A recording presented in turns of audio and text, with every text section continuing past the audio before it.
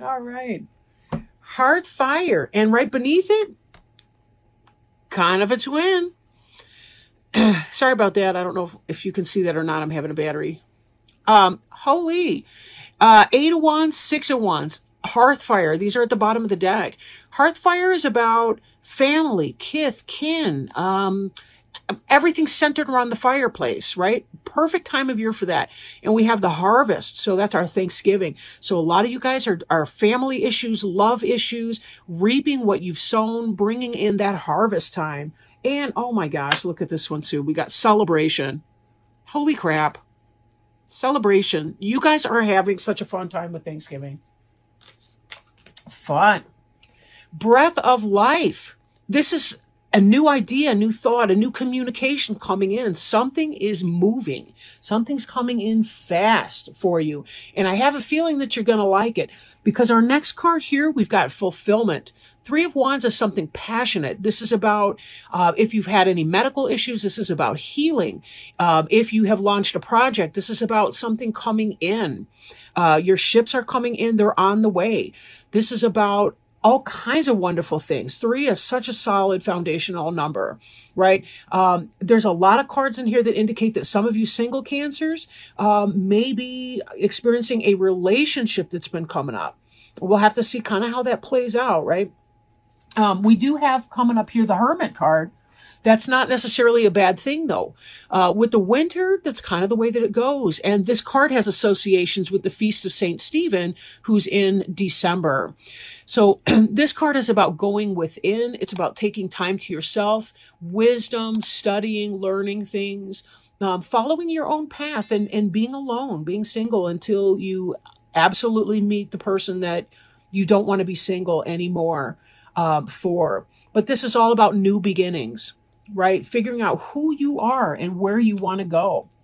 Like, let's look at this next. The Two of Cups attraction. Could be that that's what's breathing some new life into you.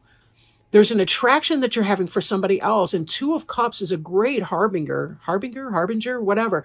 Um, but it's a love. It's about you fill up your cup. Somebody fills up their cup. Both of you filling up each other's cup. This is soulmate attraction, right? Romance passionate, loving romance. Beautiful card. Uh, I want to point out as well the Page of Cups that we have coming in. Kingfisher, this is about new offer of love, and it ties right back with our Two of Cups and our passion uh, in the Ace of Arrows, our new communication coming in. Both the Page of Cups and the Ace of Arrows are communication coming in. This is a tangible offer of something. This Kingfisher's offering love. And the legend of the Kingfisher is about someone who loved his woman so much uh, that he did not want to let her go, uh, even though there was parental pressure to avoid that. But this attraction here, the soulmate relationship, happy joy in love, lots of joy in love. This sun, wish fulfillment, happiest card in the deck, bright, sunshine, um, manifestation uh, birth of something new, uh, lots of energy, masculine energy. In fact, we've got this king of uh, wands here. And king of wands adder this is another good symbol of healing although this can be something of a dominant struggle but this is about a fire sign like an aries leo or sagittarius coming in. We see double with the leo because the sun card is the planetary ruler. The sun is the planetary ruler of leo. And then our three of wands card with the fulfillment. And again we got the double caduceus. So people with healing issues you're going to be feeling so much better. Try not to overstuff though with the bird uh, but this energy here, again, we've got this, this powerful fire energy coming in. This is passion. This is hot sex. I am envious. Okay. I may or may not be kidding. I'm going to let you fill in that blank. Then we have the waters of life represented by our ace of cups. So we have the two of cups attraction. We've got the ace of cups in the waters of life. Ace of cups is filling your own cup up first and then allowing it to overflow and to spill over and benefit someone else. These guys are filling up each other's cup, but they're filling up each other, their self first. It's always necessary for the healthiest relationships to be sure that you're taking care of numero uno, right? Numero uno. Um, Ace of Cups is about the beginning of a new love coming in.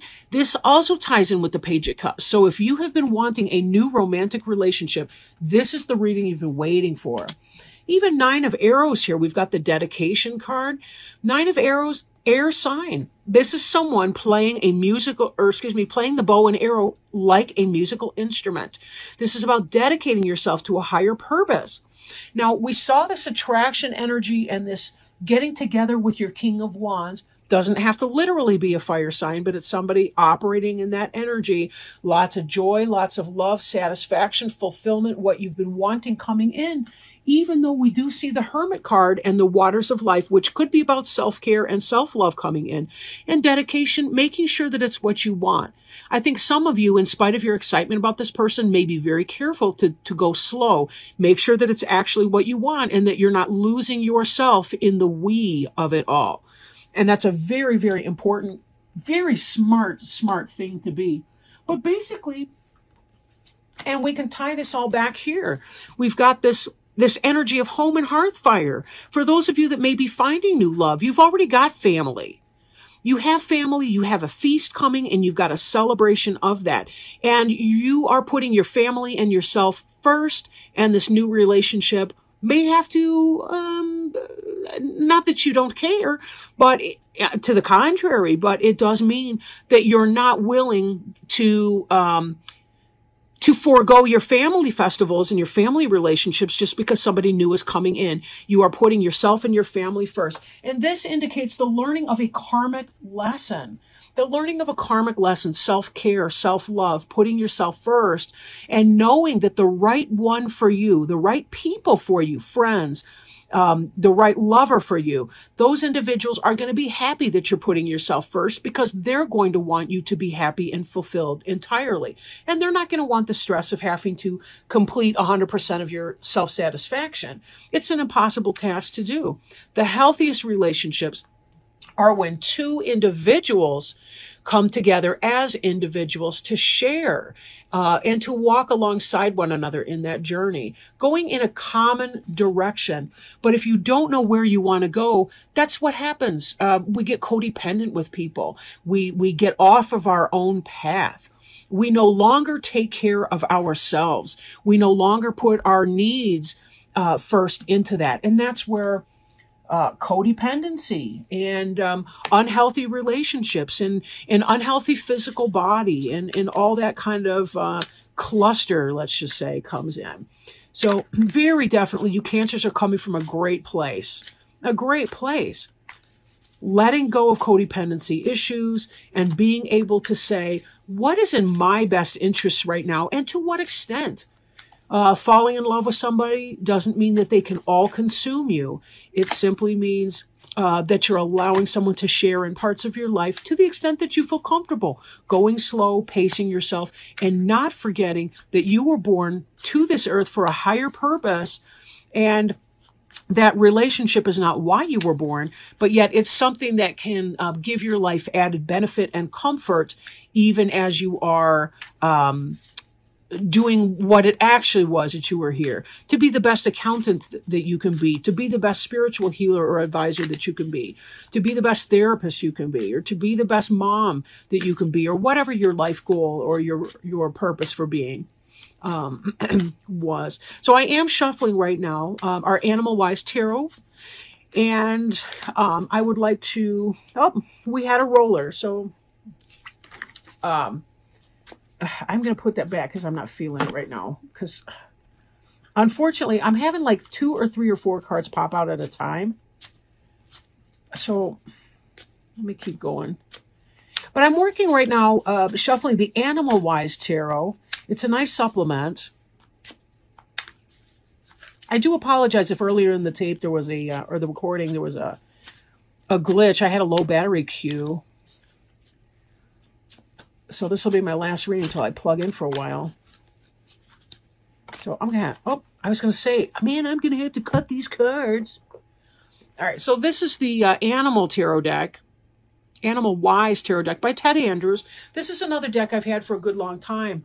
And the card that fell out is the Wheel of Fortune, which is the 10 of the major arcana cards, meaning it's about spiritual growth and development.